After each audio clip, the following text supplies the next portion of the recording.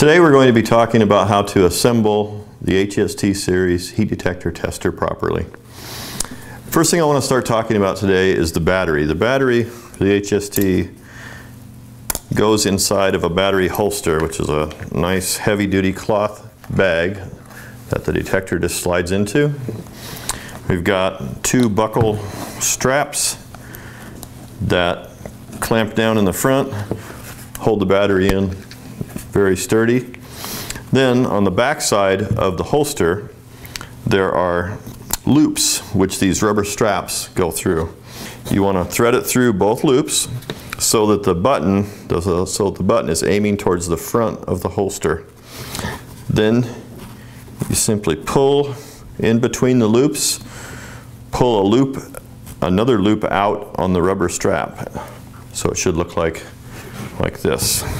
Then you're going to have your inspection pole, which you're going to be using to do your to test your detectors up at height, and you slide that through the first rubber strap, the loop in the first rubber strap, then the loop in the second rubber strap.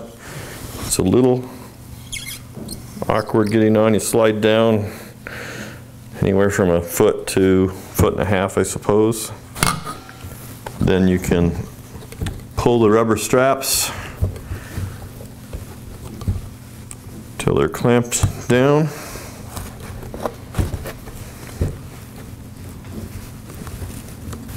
Okay, now the battery is firmly attached to the pole. Then the HST series heat detector tester test head slides onto the pole.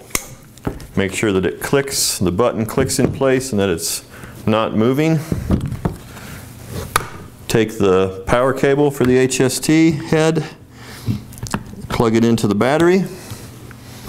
Now you're put together and you can also add longer poles to reach up at detectors that are up higher. I'll show you around the HST series heat detector tester while we're here. The end that the test chamber is on is beveled. It's like a funnel shape here so that when you place this up to, to the detector, you just have to get it anywhere on this area and the funnel will just guide it right in and you'll be able to do your test. On the control panel end, we have the power cable. The, this silver colored button is the power switch.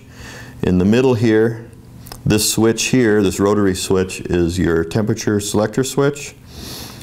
The green part here is a bright LED, very easy to see, even, even when it's up, uh, up high, it's very easy to see the LED light blink. This will indicate temperature or test progress.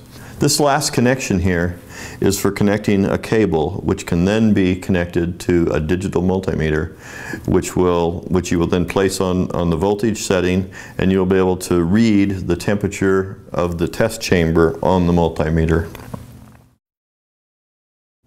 Thank you for watching this video on the assembly of the HST series heat detector tester. For more information, please visit us on the web at skinnerinnovations.com. Thank you.